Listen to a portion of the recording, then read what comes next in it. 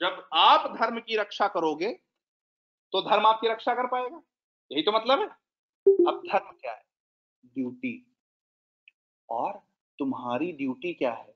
तुम्हारी ड्यूटी ये है कि एक तो तुम अपने जो काम करना है उसे करो, लेकिन तुम जो काम कर रहे हो, वो है क्या? वो कब रह पाएगा?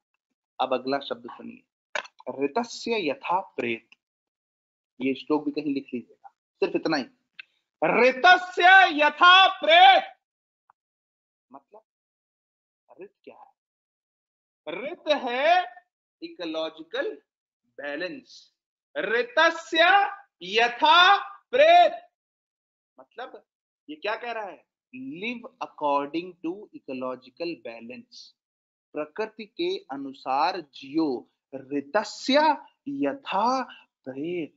क्यों? क्योंकि जब तुम प्रकृति के अनुसार जियोगे sustainable development goal number twelve को थर्टीन को फोर्टीन को फिफ्टीन को अपहोल्ड करोगे then you will be able to preserve the balance between man and nature and then you will be able to preserve the mother nature and only when you preserve mother nature then only you can have a life because if you destroy earth your dharma is destroyed if you destroy earth, your family, your duty, everything is destroyed. Your livelihood is endangered. अभी हमने देखा ना sustainable development goal number 14 में, आप oceans को खत्म कर रहे हो, तीन बिलियन लोगों की लाइवलीहुड तीन बिलियन लोगों की लाइवलीहुड एंडेंजर्ड है, क्यों?